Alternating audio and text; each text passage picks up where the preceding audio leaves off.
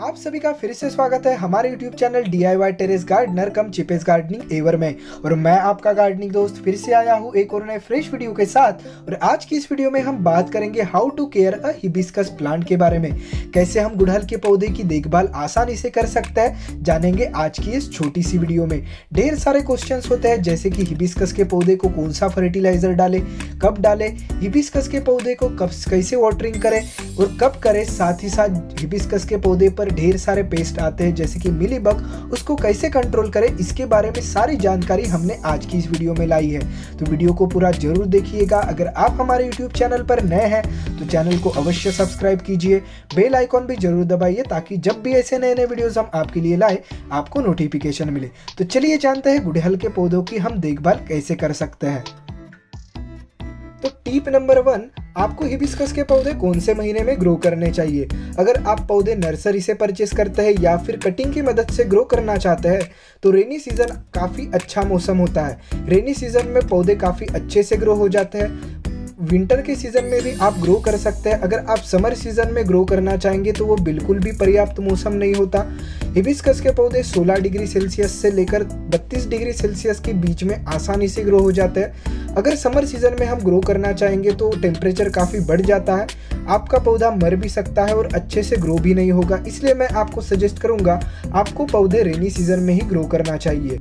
या फिर winter season में भी हिबिस्कस के पौधे आप आसानी से ग्रो कर सकते हैं। हिबिस्कस के पौधे कटिंग की मदद से कैसे उगाने हैं, उसके बारे में भी हम वीडियो लाने वाले हैं। तब तक के लिए हमारे यूट्यूब चैनल को अवश्य सब्सक्राइब करके रखें। अब हम बात करेंगे टीप नंबर टू हिबिस्कस का पौधा हमें कहाँ रखना चाहिए। हिबिस्कस के पौधे को अच्छी तरीके से ग्रो होने के लिए और उस पर अच्छी तरीके से फ्लावरिंग आने के लिए छः घंटों की धूप आवश्यक होती है। इसलिए आप हिबिस्कस का गुड़हल का पौधा उसी जगह रखें जहाँ कम से कम छः घंटों की धूप आती हो। रही बात समर सीज़न की, जैसे कि हम सभी जानते हैं समर सीज़न में टेम्परेचर अबव 40 डिग्री सेल्सियस हो जाता है और गुड़हल के हिबिस्कस के पौधे को ग्रो होने के लिए पर्याप्त टेम्परेचर होता है। 16 डिग्री सेल्सियस से लेकर 32 डिग्री सेल्सियस। उससे ज़्यादा भी हो गया, चलेगा 35 डिग्री सेल्सियस चलेगा, लेकिन 40 डिग्री सेल्सियस में धूप के कारण पौधा मुरझा जा सकता है, मर सकता है। इसलिए समर सीज़न में आपको पौधों का विशेष ध्यान रखना है। इसलिए समर सीज़न में आपको पौधों को इंडोर में ही रखना है, उसे ज़्यादा धूप में बिल्कुल भी ना रखें। अब हम बात करेंगे टीप नंबर थ्री, हिबिस्कस के प्लांट को कब, कैसे और कौन सा फर्टिलाइज़र अप्लाई करना चाहिए। एक बात मैं आपको ज़रूर बता दूँ, हिबिस्कस के प्लांट को मैग्नीशियम, पोटेशियम और जिंक की काफ़ी ज़्यादा मात्रा में आवश्यकता होती है। इसलिए मैं आपको ऑर्गेनिक फर्टिलाइज़र में एक फर्टिलाइज़र सजेस्ट करूँगा। आपको पोल्ट्री फर्टिलाइज़र का इस्तेमाल करना चाहिए। पोल्ट्री फर्टिलाइज़र में पोटेशियम और मैग्नीशियम के साथ साथ जिंक का भी भरपूर मात्रा होती है। जो आपके पौधे को अच्छी तरीके से ग्रो करने में, साथ ही साथ पौधे पर ढेर सारी फ्लावरिंग लाने में भी काफ़ी मदद करेगा। सिंपली खुरपनी के मदद से आपको कुछ इस तरह पौधे की मिट्टी, पौधे की आसपास की मिट्टी खुरेद देना है और उसके बाद जो आपने मिट्टी में पोल्ट्री खाद मिक्स किया है, उसको सिंपली उसमें कुछ इस तरह आपको मिट्टी में मिक्स कर देना है।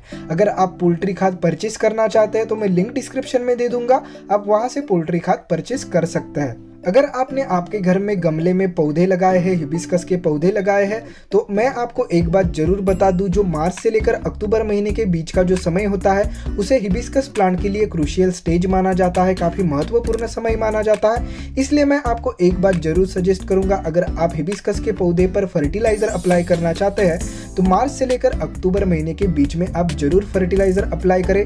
कुछ इस तरह के आप एनपी के या फिर डी फर्टिलाइज़र भी अप्लाई कर सकते हैं, जो वाटर सोल्यूबल होता है और अप्लाई करने के लिए भी काफ़ी आसान होता है। कुछ इस तरह आप ब्रॉडकास्ट कर सकते हैं या फिर कुछ इस तरह के लिक्विड फर्टिलाइज़र भी आप हिबिस्कस की पौधे पर अप्लाई कर सकते हैं। आपको किसी भी एग्रीकल्चर शॉप में आसानी से मिल जाएँगी। अगर आप यह परचेस करना चाहता है तो मैं आपको लिंक डिस्क्रिप्शन में दे दूँगा। आप वहाँ से भी परचेस कर सकते हैं। नॉर्मली इसे पानी में मिलाना होता है। आप एक ग्लास ले सकते हैं। उसमें आप एक ढक्कन यह लिक्विड फर्टिलाइज़र अप्लाई कर सकते हैं। कुछ इस तरह का यह फर्टिलाइज़र हो जाता है। इसे आपको नॉर्मली जो रूट्स होता है, जो जड़े होते हैं, उस पर आपको कुछ इस तरह डाल देना होता है। ढेर सारे फूलों के रूप में आपको इसके रिज़ल्ट काफ़ी अच्छे दिखाई देंगे। अब हम जानेंगे चौथी और सबसे important tip how to watering a hibiscus plant hibiscus के पौधे को हमें पानी कैसे देना है वाटरिंग कैसे देना है, इसके बारे में अब हम बात करेंगे। जब आपको हिबिस्कस के पौधे के ऊपर छोटी छोटी कलियाँ दिखाई देंगी, तब आप यह समझ जाइए कि हिबिस्कस के पौधे को अब ज़्यादा मात्रा में पानी की आवश्यकता है। अब ज़्यादा मात्रा में पानी की आवश्यकता है, इसका मतलब यह नहीं कि आप उसे ओवर वाटरिंग करेंगे। हिबिस्कस के पौधे को आप उतना ही पानी दें जितना उसे ज़रूरत है। इस बात का ध्यान आप ज़रूर रखें। मिट्टी भीग जानी चाहिए, हिबिस्कस के प्लांट की मिट्टी सूखी नहीं रहनी चाहिए, इसी बात का आपको ध्यान रखना है।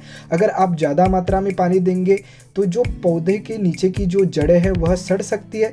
इसलिए एक बात का आप ध्यान ज़रूर रखें, हिबिस्कस के प्लांट को वाटरिंग करते समय मिट्टी भीग जानी चाहिए, उतना ही आपको वाटरिंग करना है, पानी देना है। ज़्यादा मात्रा में बिल्कुल भी पानी ना दे। हालाँकि समर में भी आपको उस बात का ध्यान रखना है, कम मात्रा में ही पानी देना है, जितना ज़रूरत है उसी मात्रा में आपको पानी देना है। अब हम बात करेंगे टीप नंबर पाँच, हिबिस्कस के पौधे की कटाई छटाई यानी कि प्रूनिंग कैसे करें?